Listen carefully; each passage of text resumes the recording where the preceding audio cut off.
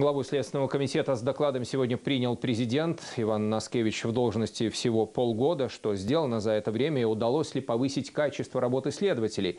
Кстати, теперь об этом будут судить и по количеству удовлетворенных жалоб.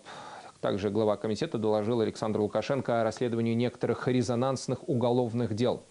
Евгений Пустовой продолжит. Могилы они копали еще для живых людей, а уголовную пропасть вырыли для себя. В Могилеве стали исчезать люди, пропавших владельцев недвижимости, объединяли любовь к спиртному и коммунальные долги.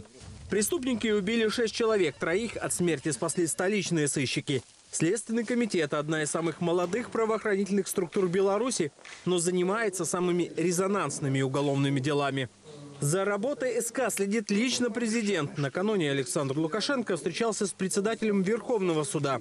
А сегодня разговор с главой следственного ведомства. Точка зрения суда, э, руководителя суда важна. Валентин Олегович объективный человек. И все-таки уровень работы следователя, вы как бывший прокурор знаете, прежде всего виден в суде. Да. Он мне рассказывал э, много работе следственных подразделений после реформирования.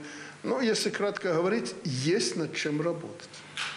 Местами много работы. Президент – инициатор создания Следственного комитета. Опыт других стран показал, это самый верный подход. По итогам работы СК судят о деятельности всей власти. Президент и следователи на стороне народа. Те, кто пытался жировать за счет жировок, уже наказаны. Об итогах январского наведения порядка в сфере ЖКХ говорят в кабинете президента, а затем пресс-центре Дворца независимости. Уголовное дело в отношении шести человек, которые являются служащими системы ЖКХ, закончено.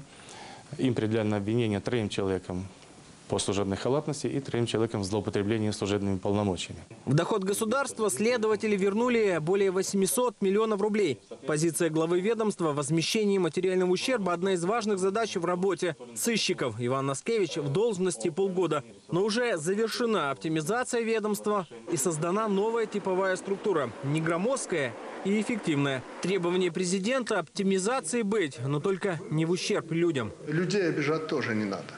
Все-таки это лучшие люди, следователь есть следователь, поэтому обижать их не надо.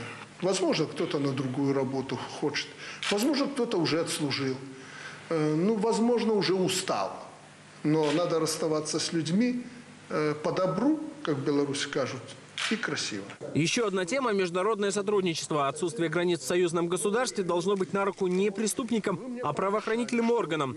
Поручение Александра Лукашенко о совместной работе следователей Беларуси и России рассмотрит уже в этом месяце. Предполагается заседание совместных коллегий, которые будут э, способствовать не только развитию наших э, внешних связей, но и принятию мер по раскрытию и расследованию преступлений. Будет ратифицировано соглашение – о создании совместных оперативно-следственных групп стран-участников СНГ. Президент на должность председателя СК выбрал опытного сыщика из региона. В его принципиальности и порядочности убедились многие столичные чины с большими звездами. Уголовные дела следователи возбуждают не глядя на должности и капиталы, а в самом ведомстве руководствуются только законом. Это и ваш авторитет, и мой авторитет, и это вообще польза для страны. Мне информируют, и у некоторых чешутся руки как-то влиять на следственные комитеты, а некоторые желают, так знаете, управлять по-старому, переподчинить, подчинить себе э, следователей и руководителя Следственного комитета. Внес предложение председатель КГБ, министр внутренних дел.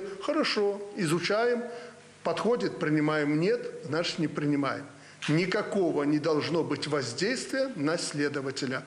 Он должен быть действуя в рамках закона, абсолютно независимым человеком. Следственный комитет напрямую подчиняется президенту, но его деятельность оценивают все белорусы. Есть 32 критерия эффективности СК. Учитывается даже количество оправданных жалоб на действия сыщиков. И немаловажно, теперь о работе белорусских следователей будут судить по общественному мнению. Евгений Пустовой, Валерий Науменко и Алексей Юнош. Телекомпания СТВ.